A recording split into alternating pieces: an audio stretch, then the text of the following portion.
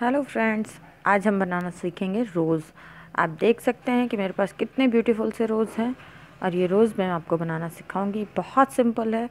Glue का use नहीं करना है सीज़र का यूज़ भी नहीं करना है ओनली पेपर सिर्फ़ पेपर से फोल्ड करके हम एक रोज़ बनाएँगे। बहुत क्यूट सा रोज़ मैं आपको बनाना सिखाती हूँ। कैसे बनाना है? चलिए मैं आपको बताती हूँ कि सबसे पहले हमें किस चीज़ की ज़रूरत है। हमें सबसे पहले ज़रूरत है एक स्क्वायर पेपर की ओके मैंने यहाँ पर लाइट येलो कलर का पेपर यूज़ किया है। आप कोई भी कलर ले सकते हैं, जो आपको अच्छा लगता है, आप अपनी चॉइस के अकॉर्डिंग कोई भी कलर ले सकते हैं। चले स्टार्ट करते हैं हम। सबसे पहले हम पेपर को फोल्ड करेंगे ओके एक स्क्वायर साइज़ पेपर को लेकर आपको उसकी फोल्डिंग स्टार्ट करनी है।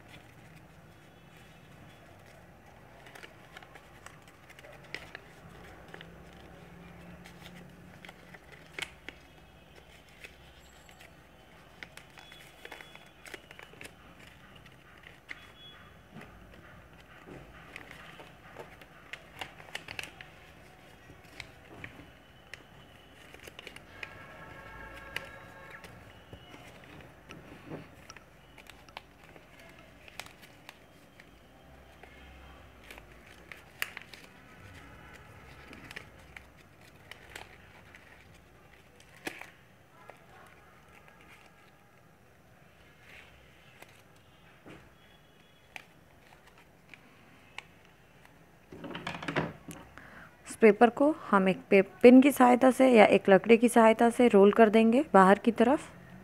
इस तरह।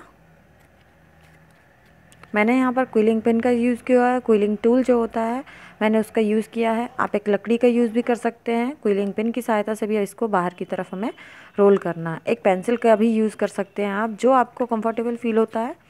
आप उसकी सहायता से इसको बाहर की तरफ़ रोल कर देंगे इस तरह, ताकि ये लीव जो है इसकी बाहर की तरफ़ फोल्ड की हुई दिखें। रोज़ की लीव जो होती है, बाहर की तरफ़ मुड़ी हुई होती है, वो आपको दिखनी चाहिए। चलिए, ये देखिए, मैं आपको दिखाती हूँ। एक एक लीव को फोल्ड करना है प्रॉपर तरीके से, ताकि ये बहुत सुंदर दिखे। ये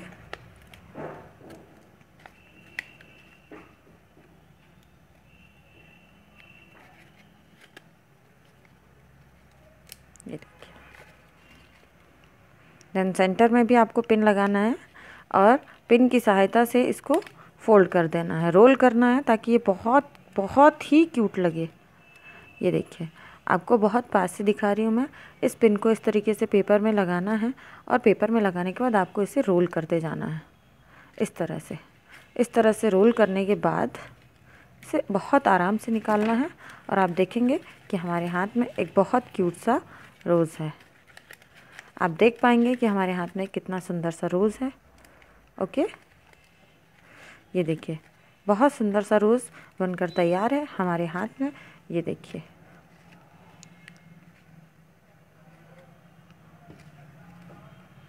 इस तरह से हम बहुत सुंदर से फ्लावर्स बना सकते हैं और डेकोरेशन कर सकते हैं। सो so फ्रेंड्स अगर आपको मेरा वीडियो पसंद आया है तो प्लीज़ शेयर करें। Thank you